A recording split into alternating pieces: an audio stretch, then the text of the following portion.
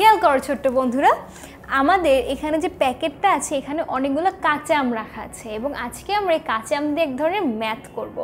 খেয়াল করো, একটি ব্যাগে কয়েকটি আম ছিল, পরে আরও পাঁচটি আম ব্যাগে রাখা হলো।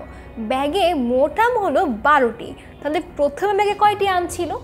চিন্তা করো, আমাদেরকে পাঁচটি আম ব্যাগে রাখতে বলা হলো, তার আগে ব্যাগে কিন্তু আরও আম ছিল।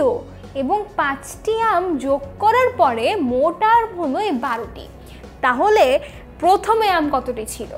খেয়াল করো, এই যে ফাঁকা জায়গাটা আছে, এখানে একটি সংখ্যা বসবে, যার সাথে পাঁচ যুক্ত হলে আসলে বারো হয়। তাহলে আমরা কি যোগ বিয়োগ বিয়োগ সম্পর্কে এটা জানি না, যে এখন যদি আমি বারো থেকে পাঁচ বিয়োগ দিই, তাহলেই কিন্তু আমি এই উত্তরটা পেয়ে যাব। চলো দেখে ফেলি। প্রথমে আমের সংখ্যা বারোটি, আরও পাঁচটি আম যুক্ত হয়েছে। পাঁচটি আম যুক্ত হয়ে হয়ে গেছে বারোটি। তাহলে প্রথমে আমের সংখ্যা কতটি?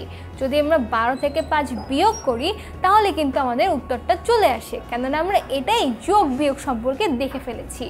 তাহলে বারো থেকে পাঁচ বিয়োগ করলে সাতটি। আবার যদি আমি সাত আর পাঁচ যোগ করি, তাহলে পেয়ে যাব কত বলো তো বারো। যেটা আমরা শিখেছি যোগ বিয়োগ সম্পর্কে। তাহলে তোমরা এভাবে যোগ বিয়োগ সম্পর্ক ব্যবহার করে অনেক ধরনের সমস্যার সমাধান করতে পারো। ভিডিওটি পছন্দ হলে লাইক দিতে ভুলো না।